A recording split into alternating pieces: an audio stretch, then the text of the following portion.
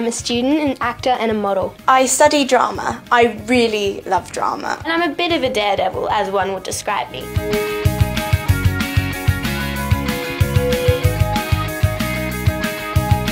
California. Whoa, whoa, whoa. Are you serious?